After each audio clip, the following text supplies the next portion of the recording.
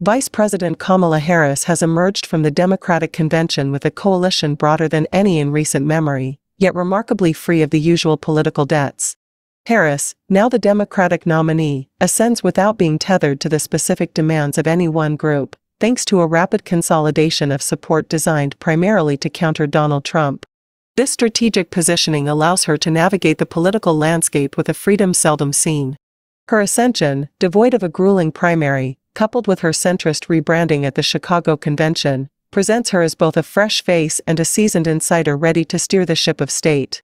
As she pivots to a general election where her main objective is to deny Trump a return to office, Harris's campaign is notably vague on policy specifics, opting instead to embody the role of a unifying figure who transcends traditional factional divides within the Democratic Party.